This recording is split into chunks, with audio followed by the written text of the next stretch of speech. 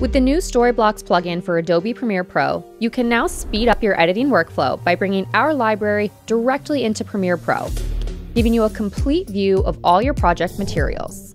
You know the struggle of constantly switching between your editor, browser, and folders, causing you to lose valuable time.